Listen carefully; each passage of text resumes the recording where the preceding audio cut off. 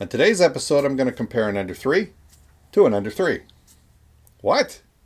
This is actually an Ender 3 from six months ago that's been sitting in the box and I waited till now to put it together. This is a brand new Ender 3 straight from the Banggood USA warehouse. So this thing's only two weeks old.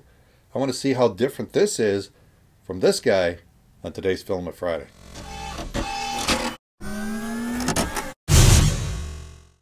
This week's Filament Friday is brought to you by these Patreon supporters.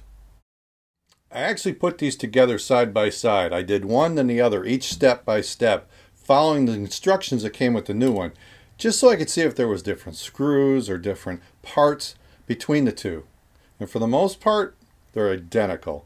The same instructions work for both of them. Same screws, same position of the screws, everything. There was no difference there. There are a few future differences between these two even though they assembled the same. The first one is the bed material. The bed material on this guy is stuck right to the aluminum bed. So you'd have to peel that off if you want to replace it. This is what I've got on several of my Ender 3s. The Ender 3 Pro, a feature was that it had a magnetic base and you could pop it off and you could flex so it. This one has a removable bed. And a lot of people have told me they've got this on their Ender 3. And it's got like a fiberglass material and you can flex it and pop the prints off and then it's got the build material on top. What's nice about this is it can go to a higher temperature because it's held on by these spring clips, not magnets like the Ender 3 Pro. So this is actually better than what's on the Ender 3 Pro. What I have noticed though is the material on top is not nearly as good as the material here. After printing multiple prints, I found on this one, there were multiple spots where plastic wasn't sticking very good. And you could easily say, well, my bed's not level. But that's not it. It was this material. I found the same thing on my CR10S Pro. I kept blaming the auto level, but as soon as I put some real BuildTak on it, the problems went away and my auto level worked beautifully.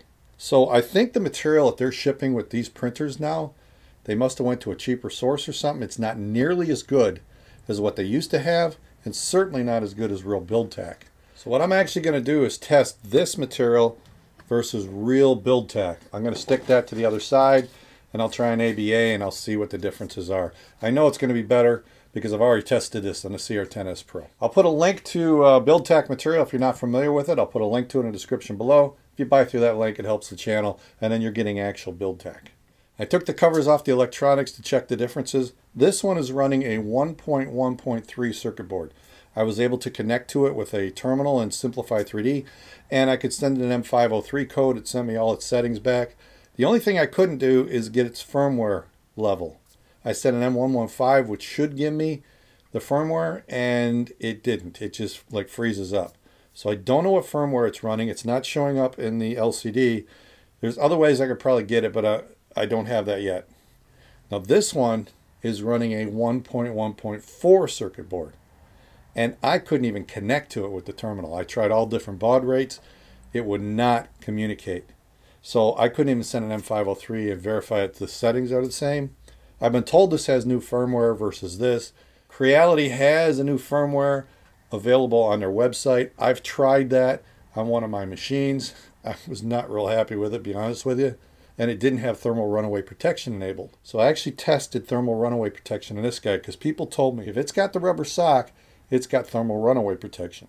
Not this one. The way I test for thermal runaway protection is I unscrew the thermistor from the heat block and just let it hang in air. That way there's no direct feedback of the temperature to the electronics. And then when I heat up the hot end, the thermal runaway protection should monitor it and if it doesn't see a rise in temperature, which it won't because the thermistor is hanging in midair, if it doesn't see that by a certain time, it should shut down. This one didn't. It just kept getting hotter and hotter until I shut it down. So I don't believe thermal runaway protection is enabled on this machine. I know it's not on the earlier machines, but it's definitely not here. So I believe I'm going to do a follow-up video to show you how to update the firmware on these guys and enable thermal runaway protection on your Ender 3. Another thing I noticed is different is the wiring. On this one, the wiring is the same as my Ender 3's. It's a little bit short. So when this carriage is all the way to the top on a big print, that wiring is being pulled. On this one, they made the wiring much, much longer. So, and it's all the way up, there's still slack in the wiring. That's a great improvement. Print quality between the two, I found that the newer one actually printed a little bit better. I printed a couple CHEP cubes, in fact several CHEP cubes, and every time it was a little bit smoother than this guy. and I printed the cat, the Creality cat, and it's just a little bit smoother on this guy. So I don't know if it's the firmware or if it's something that I'm just not noticing, but clearly this does print a little better than this guy. And you may be able to tune it up and make it better, but print quality wins on here. Unfortunately, Creality does not give a version number, so I can't tell you what version this is or what version this is. But I can tell you this is what Banggood is shipping right now from their U.S. warehouse. And if you want to buy through Amazon, well, now you at least know what to ask the Amazon seller. Does it have the rubber sock? Does it have the removable bed? And maybe what version of circuit board is in it. If they don't know that, maybe that's not the person to buy from. That's really what this is about. I want you to understand if you're going to get into 3D printing, and Ender 3 to me is a great low-cost way to start. It's not perfect, but for under $200, you really can't find a better printer. Even with the flaws that I picked out here, it's still an amazing printer for under 200 bucks. So at least now you know what you're buying, what to shop for. I hope this helped you out.